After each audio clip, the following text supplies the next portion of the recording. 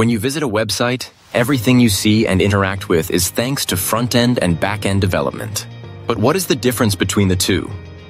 Front-end development, also called client-side development, shapes the look and feel of a website.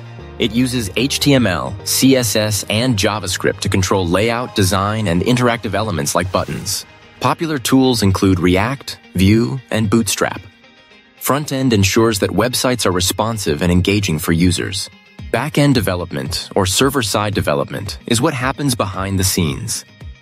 It uses languages such as PHP, Python, and Node.js to manage databases, servers, and application programming interfaces, or APIs.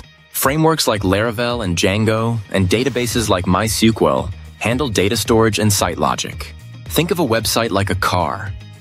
The front end is the dashboard and controls, while the back end is the engine and mechanics. Both are essential for a complete functional website.